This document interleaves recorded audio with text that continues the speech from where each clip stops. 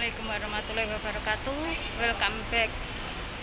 Setelah lama nggak upload video Kali ini aku mau eh, tes swab eh, Untuk yang di Hongkong semua diwajibkan untuk tes swab Karena ada beberapa dari Filipina yang eh, kena virus mutan baru ya. Ini virusnya lebih parah dari corona.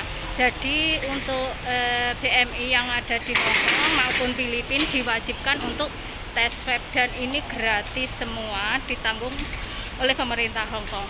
Simak videonya dan jangan lupa like, comment, and subscribe. Dan banyak banget. Jam 2.34 tes swab.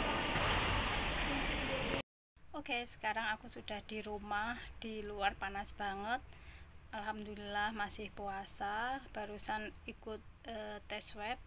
Mudah-mudahan hasilnya negatif karena eh, dari pekerja pilih dari Filipina yang terkena jadi semua terkena imbasnya juga. Tapi nggak apa-apa demi kebaikan kita semua kita diwajibkan untuk tes swab. Oh, eh, dan tes swab itu di sini gratis ya? Jadi nggak nggak seperti di Indonesia harus bayar.